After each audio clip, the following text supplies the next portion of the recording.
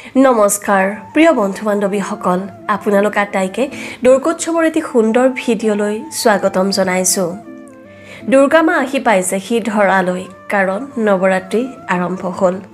নৱৰাত্ৰি এই নটা দিনত মা দুৰ্গাৰ বিভিন্ন বিভিন্ন নটা ৰূপক আমি পূজা অৰ্চনা কৰিব লাগে আৰু প্ৰতিটো ৰূপে নতুন নতুন অৰ্থ বহন কৰে লগতে বেলেগ বেলেগ আশীৰ্বাদ প্ৰদান কৰে।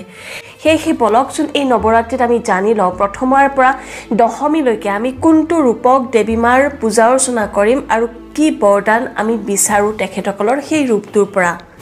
দুৰ্গা দেৱীৰ প্ৰথম ৰূপটো হৈছে শৈলপুত্ৰী আৰু শৈলপুত্ৰীৰ অৰ্থ হৈছে পৰ্বতৰ জীয়ৰী। তেওঁৱেই হৈছে দুৰ্গা দেৱীৰ প্ৰথম অৱতাৰ আৰু নৱৰাত্ৰিৰ প্ৰথম দিনা আমি তেখেতকে উপাসনা কৰোঁ। তেওঁক আচলতে সতী ভৱানী পাৰ্বতী বা হেমৱতী আদি নামেৰেও জনা যায়। তেখেতৰ এই অৱতাৰত হাতত ত্ৰিশূল থাকে লগতে এখন হাতত পদুম ফুল থাকে। তেওঁক প্ৰকৃতিৰ পৰম স্বৰূপ হিচাপে গণ্য কৰা হয়। আৰু এই শৈলপুত্ৰী দেৱী দুৰ্গাৰ বাহন হৈছে বৃষভ। আৰু মা দেৱীৰ এই অৱতাৰে মনোবল বৃদ্ধি কৰাৰ আশীৰ্বাদ প্ৰদান কৰে। দ্বিতীয়টো ৰূপ হৈছে ব্ৰহ্মচাৰিণী। তাৰ অৰ্থ নিষ্ঠাবান নাৰী শিষ্যা। তেওঁ শুকুলা বস্ত্ৰ পৰিধান কৰে। সোঁহাতে জপমালা আৰু বাওঁ হাতত কমণ্ডলো ধাৰণ কৰে। আৰু এই ৰূপটোৰে তেখেতে জপ কৰি পেলাই মহাদেৱক স্বামী হিচাপে বৰণ কৰিছিলে। এই ৰূপটোৱে আশীৰ্বাদ দিয়ে মনোসংযোগ বৃদ্ধি কৰাৰ বাবে। দুৰ্গামাৰ তিনি নম্বৰ ৰূপটো হৈছে চন্দ্ৰঘণ্টা। এই অৱতাৰত তেখেতৰ অৰ্ধচন্দ্ৰ আকৃতিৰ ঘণ্টা এটা থাকে। দেৱীৰ তৃতীয় নয়ন সদায় মুক্ত অৱস্থাত থাকে। সদায় ৰাক্ষসৰ বিৰুদ্ধে যুদ্ধৰ বাবে সাজু হৈ থাকে। এই অৱতাৰত মা দুৰ্গাৰ বাহন থাকে বাঘ। চন্দ্ৰঘণ্টা অৱতাৰত তেখেতৰ হাতত থাকে ত্ৰিশূল পদুম ফুল গদা কমণ্ডলু তপমালা ধনুকাৰ জপমালা অভয় মুদ্ৰা জ্ঞান মুদ্ৰা এই চন্দ্ৰঘণ্টা অৱতাৰে আশীৰ্বাদ প্ৰদান কৰে সাংসাৰিক সকলো ধৰণৰ দুখ কষ্টৰ পৰা পৰিত্ৰাণ পোৱাৰ। শাৰীৰিক হওক মানসিক ক্লেশ নতুবা ভৌতিক বাধা আঁতৰোৱাৰ আশীৰ্বাদো প্ৰদান কৰে। মা দুৰ্গাৰ চাৰি নম্বৰ ৰূপটো হৈছে কুষ্মাণ্ডা। কুষ্মাণ্ডা তেওঁৰ মিচিকীয়া হাঁহিৰ পৰাই জগতৰ উৎপত্তি বুলি কোৱা হয়। কুষ্মাণ্ডা মানে হ'ল এই ব্ৰহ্মাণ্ড। নৱৰাত্ৰিৰ চতুৰ্থ দিনটোত কুষ্মাণ্ডাৰ আৰাধনা কৰা হয়। তেওঁ স্বাস্থ্য সম্পত্তি আৰু শক্তি বৃদ্ধি কৰে। এই অষ্টভুজা দেৱীৰ বাহন হৈছে বাঘ। আঠখন হাতত থাকে পদ্ম চক্ৰ কমণ্ডলু ধনু কাৰ গদা অক্ষমালা অমৃত আৰু ৰক্তৰ কলহ। দেৱীৰ পাঁচ নম্বৰ ৰূপটো হৈছে স্কন্দমাতা। কাৰ্তিকৰ নাম হৈছে এটা স্কন্দ আৰু সেই কাৰ্তিকৰ মাক হোৱা হেতুকে তেখেতক স্কন্দমাতা বুলি কোৱা হয়। তেখেতৰ বাহন হৈছে সিংহ। তেখেতৰ হাত দুখনত থাকে পদুম ফুল আৰু কোচত দুখন হাতেৰে কাৰ্তিকক ধৰি ৰাখে। দুৰ্গামাৰ এই ৰূপে বিপদৰ পৰা পৰিত্ৰাণ কৰে লগতে শক্তি সমৃদ্ধি আৰু ঐশ্বৰ্য প্ৰদান কৰে। মা দুৰ্গাৰ ছয় নম্বৰ ৰূপটো হৈছে কাত্যায়নী। নৱৰাত্ৰিৰ ছয় নম্বৰ দিন মানে ষষ্ঠী দিনাখন কত্যায়নী ৰূপটোক পূজা অৰ্চনা কৰা হয়। মা দুৰ্গাৰ এই কত্যায়নী ৰূপক মহিষাসুৰৰ নিধনকাৰী দেৱী হিচাপেও জনা যায়। দেৱী কত্যায়নীক চতুৰ্ভুজা অষ্টভুজা অথবা দশভুজা ৰূপত চিত্ৰায়িত কৰা হয়।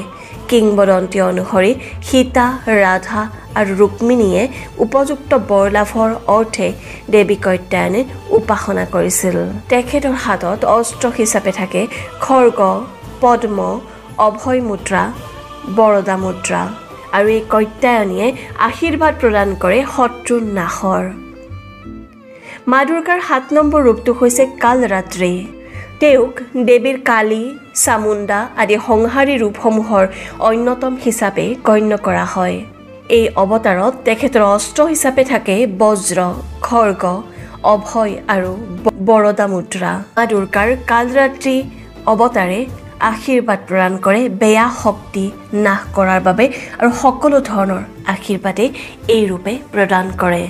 এই ৰূপত তেখেতৰ বাহন হৈছে গদৰ্ভ সিংহ বা বাঘ। মা দুৰ্গাৰ আঠ নম্বৰ ৰূপটো হৈছে মহাগৌৰী। নৱৰাত্ৰিৰ অষ্টম দিনাখন মানে অষ্টমী দিনাখন পূজা অৰ্চনা কৰা হয় মহাগৌৰীৰ। হিন্দু ধৰ্ম অনুসৰি দেৱী মহাগৌৰীয়ে তেওঁৰ ভক্তসকলৰ সকলো ইচ্ছা আকাংক্ষা পূৰণ কৰিব পাৰে। এই অৱতাৰত তেখেতৰ হাতত থাকে ত্ৰিশূল ডম্বৰু অভয় মুদ্ৰা আৰু বৰদা মুদ্ৰা এই অৱতাৰত তেখেতৰ বাহন হৈছে বৃষভ।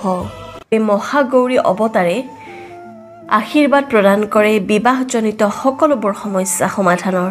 প্ৰিয় দৰ্শক মা দুৰ্গাৰ নৱমটি ৰূপ হৈছে সিদ্ধিদাত্ৰী। অৰ্থাৎ নৱৰাত্ৰিৰ নৱমী দিনাখন সিদ্ধিদাত্ৰী ৰূপটোক পূজা অৰ্চনা কৰা হয়। সিদ্ধিদাত্ৰীৰ অৰ্থ হৈছে সিদ্ধি লাভ কৰা অৰ্থাৎ পৰমাত্মাৰ লগত সংযোগ ঘটা। মা দুৰ্গাৰ এই সিদ্ধিদাত্ৰী অৱতাৰটোক নৱৰাত্ৰিৰ নৱম দিনাখন মানে নৱমী দিনাখন পূজা অৰ্চনা কৰা হয়। আৰু এই অৱতাৰটোকে অৰ্ধনাৰীশ্বৰা বুলিও কোৱা হয় য'ত আধা মহাদেৱ শিৱৰ থাকে আৰু আধা মা পাৰ্বতীৰ থাকে। এই অৱতাৰত বাহন থাকে পদুম ফুল। নৱমী দিনাখন কোনো ভক্তবৃন্দই যদি মা দুৰ্গাৰ এই সিদ্ধিদাত্ৰী অৱতাৰটোক পূজা অৰ্চনা কৰি সঁচাই অন্তৰেৰে যদি নিজৰ মনোকামনাবোৰ ব্যক্ত কৰে দুৰ্গা মায়ে সেই তেখেতসকলৰ মনোকামনা সিদ্ধি কৰে বুলি বিশ্বাস কৰা হয়। মা দুৰ্গাৰ নটা ৰূপকে যে আমি পূজা অৰ্চনা কৰিম কিন্তু সেই নটা ৰূপৰ আমি কি কি ভোগ আগবঢ়াম? নৱৰাত্ৰিৰ প্ৰথমটো দিন মা অৰ্থাৎ প্ৰতিপদ তিথিৰ দিনাখন আমি মা দুৰ্গাৰ শৈলপুত্ৰীৰ ৰূপটোক আমি পূজা অৰ্চনা কৰাৰ বাবে আমি গৰুৰ ঘি ভোগ হিচাপে আগবঢ়াব পাৰোঁ।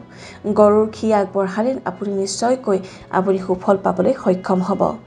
দ্বিতীয়তে ব্ৰহ্মচাৰিণী ৰূপক ব্ৰহ্মচাৰিণী ৰূপক আপুনি পূজা অৰ্চনা কৰোঁতে চেনি আপুনি দিব পাৰে। চেনি আপুনি ভোগ হিচাপে বা প্ৰসাদ হিচাপে আগবঢ়াব পাৰে আৰু সেয়া অতি শুভ মানা হয় সেই ৰূপটোৰ বাবে। তৃতীয়টো হৈছে চন্দ্ৰঘণ্টা। চন্দ্ৰঘণ্টা ৰূপটোক আপুনি পূজা অৰ্চনা কৰিবৰ বাবে গাখীৰ আৰু চেনি মিশ্ৰিত যিকোনো বস্তু আপুনি যিকোনো বস্তুৱে ভোগ হিচাপে আগবঢ়াব পাৰে আৰু সেয়া অতি উত্তম বুলি ধৰা হয়। চতুৰ্থতে কুষ্মাণ্ডা। চতুৰ্থী দিনাখন কুষ্মাণ্ডা ৰূপক মা দুৰ্গাৰ সেৱা কৰা হয় আৰু সেই দিনাখন আপুনি মালপোৱা বনাই দিব পাৰে। ভগৱানলৈ বনোৱা সেই পাত্ৰত আপুনি বনাই মালপোৱা মিঠা মালপোৱা আপুনি মা দুৰ্গাৰ সেই কুষ্মাণ্ডা ৰূপটোক আপুনি নিবেদন কৰিব পাৰে। পঞ্চমী দিনাখন হৈছে স্কন্দমাতা। স্কন্দমাতাক আপুনি পূজা অৰ্চনা কৰোঁতে আপুনি কলৰ ভোগ দিব পাৰে। কল খুবেই প্ৰিয় মা দুৰ্গাৰ এই ৰূপটোৰ সেয়েহে আপুনি কল ভোগ হিচাপে অৰ্পণ কৰিব পাৰে। ষষ্ঠীৰ দিনা কাত্যায়নী। কাত্যায়নী ৰূপক আপুনি মৌ প্ৰদান কৰিব লাগিব। মৌ হৈছে কাত্যায়নী ৰূপৰ বাবে উত্তম এটি ভোগ।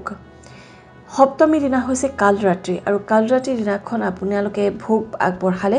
আখৈ আৰু গুড় মিহলি আপুনি ভোগ আগবঢ়াব পাৰে। অষ্টমী দিনাখন হৈছে মহাগৌৰী। মহাগৌৰী ৰূপটোক আপুনি হালধীয়া হালোৱা যি যিদৰে ধৰক আপোনাৰ চুজি হওক বা যিকোনো ধৰণৰ আপোনাৰ হালধীয়া বা মগু দাইলৰ হালোৱা বনাব পাৰে। যিকোনো আপুনি এনেকুৱা ধৰণৰ ভোগ বনাওঁ য'ত আপোনাৰ মিঠা হয় লগতে তাতে হালধীয়া ৰংটো যাতে অকণমান থাকে তেনেকুৱা ধৰণৰ আপুনি যিকোনো ভোগেই আগবঢ়াব পাৰে। নৱমী দিনাখন অৰ্থাৎ অন্তিমটো দিনত আপুনি সিদ্ধিদাত্ৰী ৰূপটোক পূজা অৰ্চনা কৰিব আৰু সেই দিনটোৰ বাবে আপুনি বগা পায়স আপুনি ভোগ হিচাপে আগবঢ়াব পাৰে। বন্ধু বান্ধৱীসকল এয়াই আছিলে নৱৰাত্ৰিৰ সবিশেষ সামৰি এটি ভিডিঅ' আপোনালোকলৈ। ইয়াৰ পৰৱৰ্তী ভিডিঅ'টোত মই আপোনালোকক জনাম যে নৱৰাত্ৰি কোনদিনাখন কি ফুল আমি মা দুৰ্গাক অৰ্পণ কৰিব লাগে বা কোনটো ৰূপক কি ফুল অৰ্পণ কৰিব লাগে। লগতে আপোনালোকে এইটোও জানিব যে কোন ৰাশিৰ মানুহে কোনটো মা দুৰ্গাৰ ৰূপক পূজা অৰ্চনা কৰিব লাগে? পৰৱৰ্তী ভিডিঅ'ত জনাই আছোঁ। তেতিয়ালৈকে আজিলৈকে মাগিছোঁ বিদায় ভিডিঅ'টো যদি ভাল লাগিছে লাইক আৰু শ্বেয়াৰ কৰিব। কমেণ্টতো নিশ্চয়কৈ আপোনালোকে জয় মা দুৰ্গা লিখিবলৈ নাপাহৰিব। চেনেল যদি নতুনকৈ আহিছে প্লিজ চেনেলটি ছাবস্ক্ৰাইব কৰিবলৈ নাপাহৰিব। ধন্যবাদ।